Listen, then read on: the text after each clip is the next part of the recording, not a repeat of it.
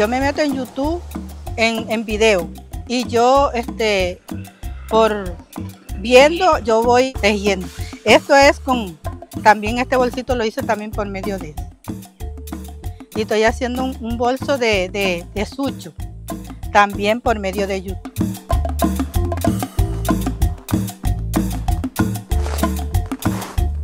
pues ahora con la facilidad que todo mundo tiene internet en su casa, pues me imagino que, y he visto que es mejor, ya podemos investigar en nuestra casa sin salir.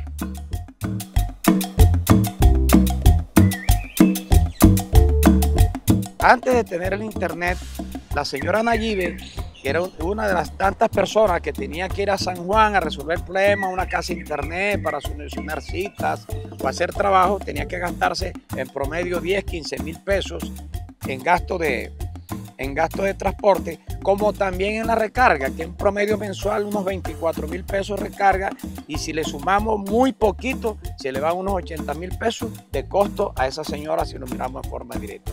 Era difícil, yo veía a, los, a mis compañeros míos, los primos, que siempre para estudiar tenían inconvenientes, porque no tenían cómo conectarse a una red social o no tenían cómo comprar un libro para hacer las actividades, entonces tenían que transportarse hacia San Juan o buscar otro medio para conectarse.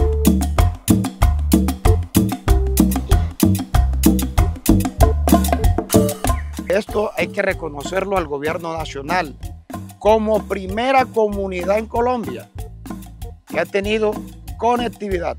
Esto de resaltarlo. Tenemos nuestro piloto y con este piloto quiero que unamos otros pilotos como es el piloto de la educación que tenemos con nuestra fundación. Pues muy importante conectarse porque hoy en día con la facilidad de estar conectado podemos informarnos, hablar con nuestros, con nuestros familiares que están en otro sitio y pues es una herramienta fundamental hoy en día tener conectividad.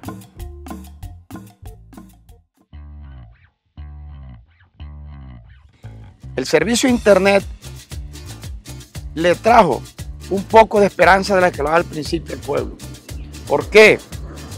Porque el solo hecho de estarlo conectando al mundo le facilita la vida a las personas, le facilita la vida a los niños que tanto lo necesitan para sus clases, para sus estudios, para sus investigaciones.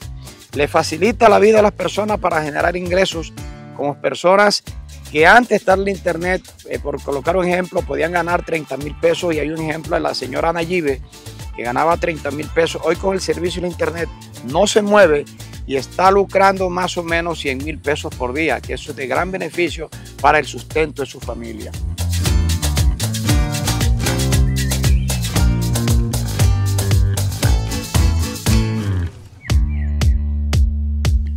Estoy muy contenta con comunidad de conectividad.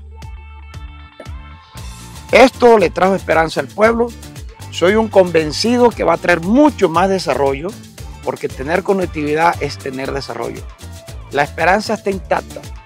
La esperanza está intacta, apenas estamos comenzando y quiero que el pueblo, quiero que Colombia y quiero que el mundo le pongan los, los ojos a este pueblo.